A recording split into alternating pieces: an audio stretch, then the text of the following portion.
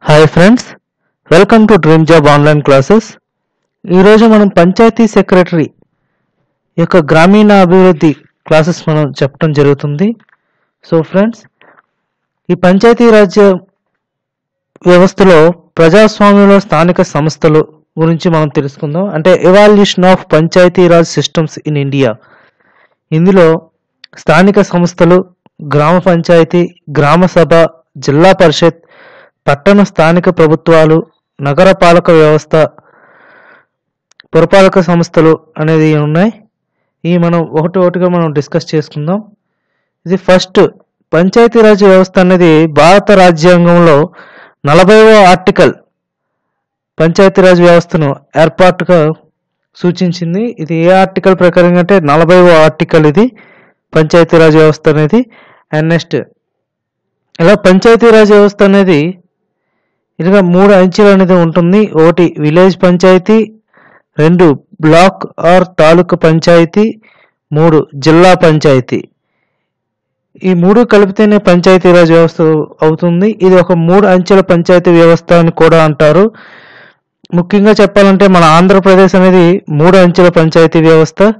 కొన్ని కొన్ని రాష్ట్రాలు ఉన్నాయి రెండు అంచెల పంచాయతీ వ్యవస్థ ఉన్నాయి నాలుగు అంచెల పంచాయతీ వ్యవస్థ కూడా ఉన్నాయి. అలాగే మనం మున్సిపాలిటీ చూసుకుంటే ఇక్కడ నగర panchayati municipal council municipal corporation అనేది ఇది కూడా త్రీ టైప్స్గా ఉన్నాయి. ఇవి కూడాను? అండ్ నెక్స్ట్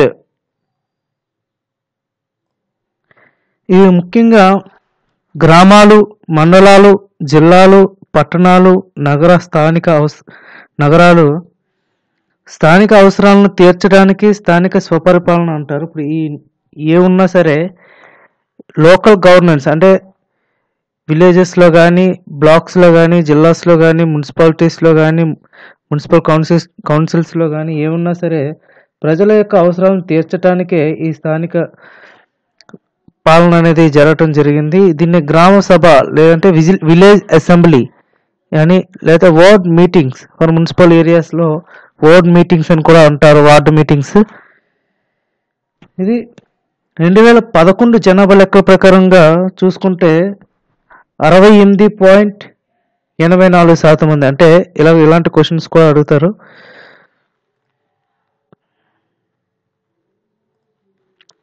రెండు వేల పదకొండు జనాభా లెక్కల ప్రకారంగా చూసుకుంటే గ్రామీణ ప్రాంతంలో sixty eight sixty eight percentage అంటే sixty eight point eight four percentage members ఉన్నారు గ్రామాల్లో ఈ పంచాయతీ వ్యవస్థలో.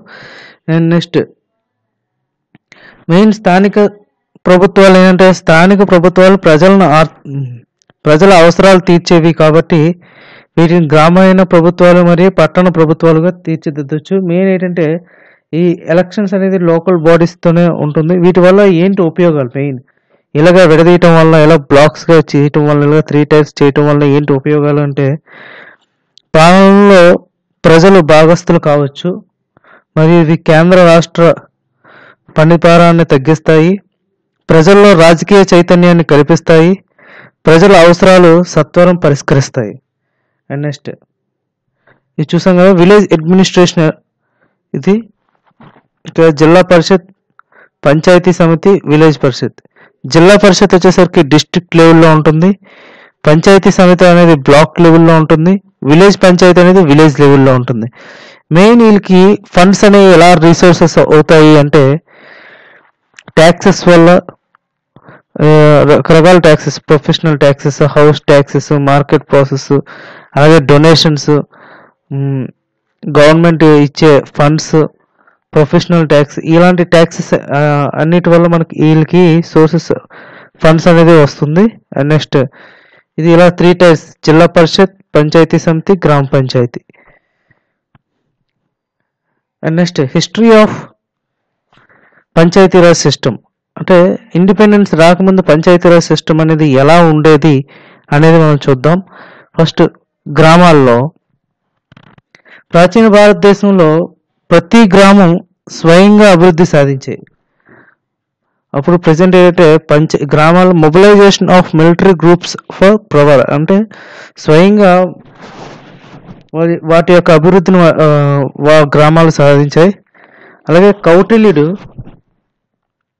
కౌటిల్యుడు గ్రామ కుట అంటే విలేజ్ ఆఫీసర్స్ కౌటిల్యుడు తన అర్థశాస్త్రంలో గ్రామిక గ్రామ కుట లాంటి గ్రామ గ్రామాధికారాల గురించి ప్రస్తావించాడు.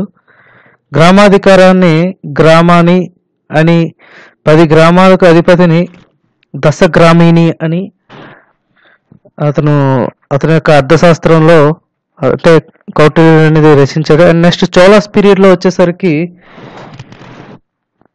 మనం చోళులు చోళులను బాగా గుర్తుంచుకోవాలంటే ప్రాచీన భారత్లో స్థానిక గ్రామీణ ప్రభుత్వాలను అభివృద్ధి చేసిన వంశం ఏంటంటే చోళులే అని చెప్పొచ్చు.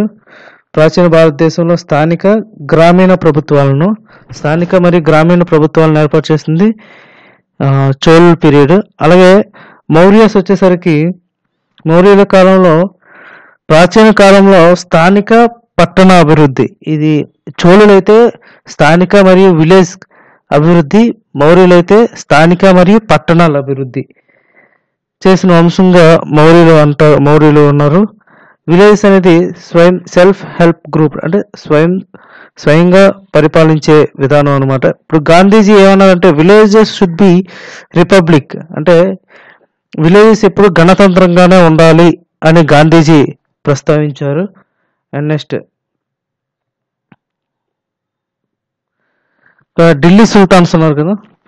ఢిల్లీ సుల్తాన్స్ కాలంలో చిన్న పాలనా యూనిట్గా పనిచేసేవారు. దాని పేరు పరిగణ అనిగా పరిగణించేవారు. అండ్ నెక్స్ట్ శేర్షా కాలంలో సర్కార్ అని పరిగణాలుగా విభజించారు. ఇదేంటంటే మన పంచాయతీరాజ్ వ్యవస్థలో స్వపరిపాలన సొంత పాలన గురించి మనం తెలుసుకున్నాం. అండ్ నెక్స్ట్ పంచాయతీ పుట్టుక ఎప్పటి నుంచి స్టార్ట్ అయినాయి? అండ్ నెక్స్ట్ బ్రిటిష్ వారి కాలంలో స్థానిక ప్రభుత్వాలు ఎలా ఉన్నాయి? అండ్ నెక్స్ట్ స్వతంత్రం తర్వాత స్థానిక ప్రభుత్వాలు ఎలా ఉన్నాయి అనే దాని గురించి మనం తర్వాత డిస్కస్ చేసుకుందాం వేరే క్లాస్లో. అండ్ నెక్స్ట్ పంచాయతీ వ్యవస్థ ప్రగతికి ఏ కమిటీలు అనేది ఏర్పాటు చేయడం జరిగింది ఆ కమిటీల యొక్క ఆదేశాలు ఎలా ఇచ్చారో మళ్ళీ మరియు వాటి అమలు గురించి మనం కూడా తెలుసుకుందాం. అండ్ ఫ్రెండ్స్ ఇది జస్ట్ ఇంట్రడక్షన్ మాత్రమే ఇది ఒక ఫస్ట్ క్లాస్ ఇది. Evaluation of panchayati raj system in ఇండియాలో ఫస్ట్ క్లాస్ ఇది. రివైజ్ చేసుకుంటే ఇది నలభై ఆర్టికల్ ప్రకారంగా వచ్చింది. ఇక్కడ త్రీ బ్లాక్స్ ఉంటాయి. మన ఆంధ్రప్రదేశ్ అనేది త్రీ టైర్ పంచాయతీరాజ్ వ్యవస్థ. మన ఆంధ్రప్రదేశ్ మన ఇండియాలో వచ్చేసరికి మన ఆంధ్రప్రదేశ్ సెకండ్ ఫస్ట్ రాజస్థాన్లో పెడితే సెకండ్ మన ఆంధ్రప్రదేశ్లో పెట్టారు. అది మన నూతనంగా అదే శంషాబాద్ ఎయిర్పోర్ట్లో శంషాబాద్.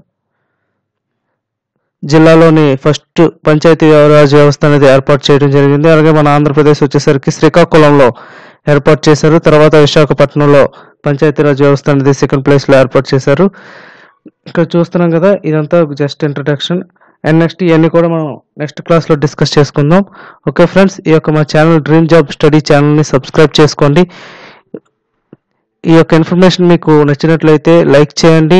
మీ ఫ్రెండ్స్కి షేర్ చేయండి. Thank you thank you very much